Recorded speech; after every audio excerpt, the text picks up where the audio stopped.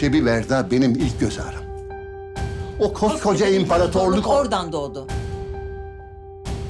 Ben gözlerimi kapatmadan kimse ona el süremez.